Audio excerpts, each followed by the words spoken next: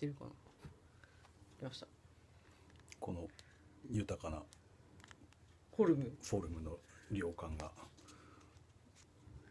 楽しい。楽しい。平 平面に起こすためにこういう形でパースを取ってみる。っていう。こう仕事をやっているぎっしり満足。チョコミント。こういうパッケージを作るためにもパソコンのプログラムが必要な逆逆になってでしょ？逆に。なっ逆側にてますね。文字が。これはこうなるわけですよ。もともと戻るんですか？この後戻らないです。こういうものをデザインするためにもパソコンが必要、そしてこういうものを取ってアップするためにもパソコンが必要、パーソナルコンピューターがね。はい、吉田亜美と、はい。吉田亜美か小谷義雄。ああえー日付を言っておこう。ー今日は？2017年。17年の7月10、えー、11 11日。日。ライブまであと10日ですね。はいうん。いろいろバタバタみんな予約してくれてるかな？みんな予約してくれてるかな？難しい。こっちかここがここがかかめか。えー、別にね。あのなんすか？別に何ですか？ゆっくりと。これはまあコーヒーのようにたまにこういうそうね。こうやって。るウイスキーですウイスキーですけれどもたまにっていうかこう私こういうのでこうやって撮るのって自分でできないのでああの驚いてるわけですね。あのこのこういうあ映ってる自分映ってる自分の顔を映って見えていてカメラというのは映ってる自分の顔が見えないものではないですか。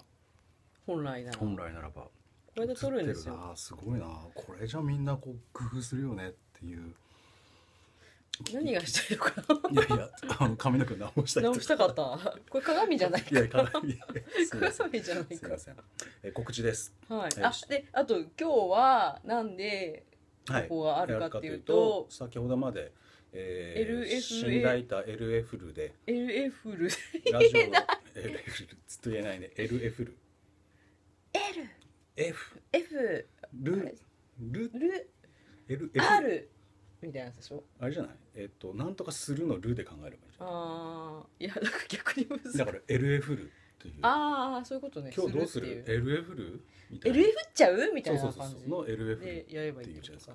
であの告知用のラジオを、えー撮ってきました。はい。で、えー収7録月収の録なので7月15か6、えー15とか言ったかな？の土曜日に、うん。えーアップされます。意外と朗読、えー次の次回の「口火ボリューム4についていろいろ喋ってきましたので、お願いします、えーもしよろしければ見てやってくださいと。で7月の、まあ、21日に、うん。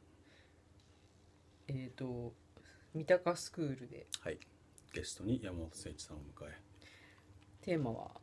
歌を朗読するということで、えー歌をね朗読した上に、えー墨で半紙に凛々と歌詞歌詞を書いてみたりとかして誠一さんはね書道家でもありますので、えーそんなに簡単にやらないよっていうかもしれないですけれども、えー少なくとも俺は書く。書く。俺は書く、あの非常に字に対してコンプレックスがある、えー吉田亜美さんも書きますか？あ私も書けますけど私でもこの間滝口優勝君に「いい字ですね」って言われたんで言われたんで。言われ言われたんで。で積極的に書いていこうと。いやまあ今手書きでよく文章書いてるんで。はいはいはい、まあ、書いたりして読んだり書いたり、えー聞いたりというようなことをやりたいと思っています、すごいなこう自分の顔が映っている。そしてこれが人のモニターに映る。恐ろしいですね。いや。YouTuber の人たちの気持ちがちょっと分かりましたこういうことですようん。なんか俺やっぱ俺自分の父親の顔にちょっと似てるな、えー、そうなんだ。